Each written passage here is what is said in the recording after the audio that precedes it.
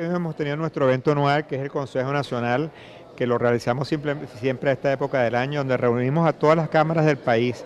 Y en esta oportunidad le hemos dedicado al futuro. Se ha presentado todas las propuestas que está haciendo el sector empresarial en los en 10 sectores fundamentales que estamos analizando en los actuales momentos, del sector primario hasta el sector terciario, y esas propuestas también se han compatibilizado con diputados de la Asamblea Nacional, conociendo cuáles son los acuerdos que los Diferentes partidos políticos han venido avanzando en temas tan esenciales como las políticas económicas, las políticas petroleras, las políticas sociales, eh, alimentando las posiciones del sector empresarial también con los consensos que ha ido desarrollando el sector eh, político venezolano.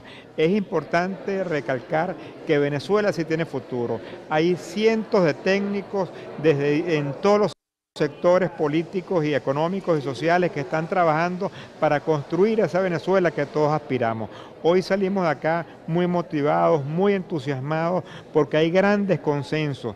Venezuela tiene mecanismos para recuperarse rápidamente. Venezuela tiene los mecanismos gracias al esfuerzo y el trabajo de todos los venezolanos para salir adelante. Y mientras logremos entre todos crear la confianza, crear los lazos de unidad, crear la visión compartida del país, que sí podemos tener la posibilidad de, lograr el progreso y el bienestar que todos aspiramos, eso es lo que hemos estado discutiendo hoy. No hacia adentro únicamente con nuestras cámaras de afiliados, sino con factores de diferentes tendencias políticas que lo que los venezolanos criticamos, que los políticos no se encuentran, aquí estuvieron presentes diferencias, diferentes tendencias políticas mostrando consenso y acuerdo con temas fundamentales la economía. ¿Cuáles fueron esos consensos y esos acuerdos en relación a las expectativas económicas que actualmente tiene Venezuela, que son bastante negativas según el Fondo Monetario Internacional? Bueno, las expectativas, si seguimos en más de lo mismo, son totalmente negativas. El Fondo Monetario y todas las proyecciones indican si seguimos más de lo mismo,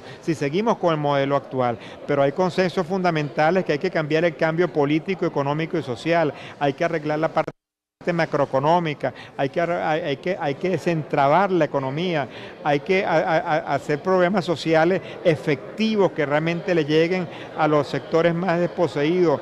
Hay, múltiples temas que hemos estado discutiendo y que, y, que, y que tienen solución. Y lo que hay que tener la confianza de que sí lo podemos solucionar y que hay que buscar esos mecanismos de consenso para que todos los factores de la sociedad nos sumemos a buscar soluciones para todos los venezolanos.